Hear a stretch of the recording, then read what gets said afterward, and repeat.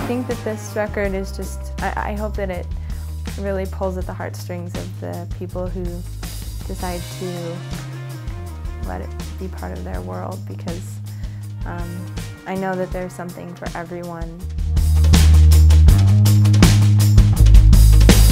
I'm happy to be so honest and truthful and genuine with the world and my audience and myself and people that I play music with. I know that everyone will be able to find something in it and I think that that makes this record really special.